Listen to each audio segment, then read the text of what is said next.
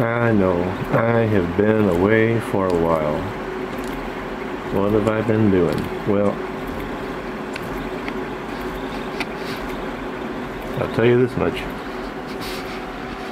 I have not been idle.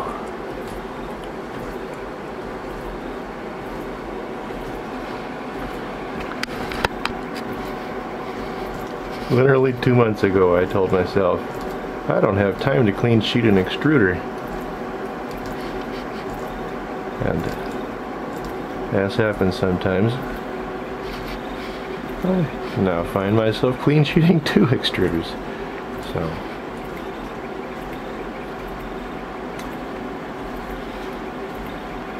as usual, stay tuned.